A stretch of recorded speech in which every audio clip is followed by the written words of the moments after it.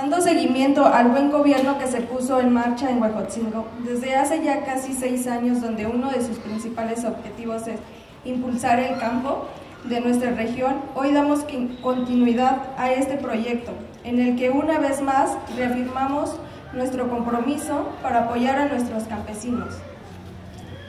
Con la entrega de fertilizante, que además de enriquecer las tierras para sus cultivos, dará mayor calidad a sus productos e impactará de manera directa en la economía de nuestros productores. Las, las y los invito a hacer buen uso de este apoyo en beneficio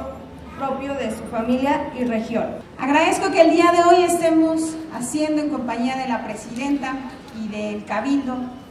esta entrega de fertilizante que como cada año desde el 2018 19, perdón, se ha venido haciendo de manera gratuita. Una de nuestras prioridades que nos fijamos justamente desde octubre de 2018 fue impulsar de manera muy fuerte al campo de Huejotzingo, pero sobre todo escuchar a nuestras productoras y productores de cada una de nuestras juntas auxiliares.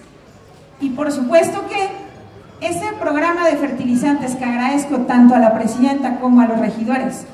que ahorita este año le hayan dado esta continuidad, ha sido de verdad parte fundamental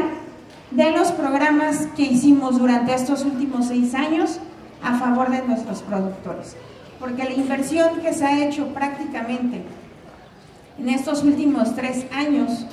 solamente de la segunda administración, en materia de fertilizantes, ha sido una inversión que asciende a los 12 millones de pesos. Yo sé que se requiere infraestructura, claro que sí, porque es importante, pero también es importante que del presupuesto municipal se asigne y se etiquete a el campo de Ojotzingo, porque es la actividad primaria o la principal actividad económica dentro de Huejotzingo. Así que enhorabuena, muchísimas felicidades a todas las y los productores.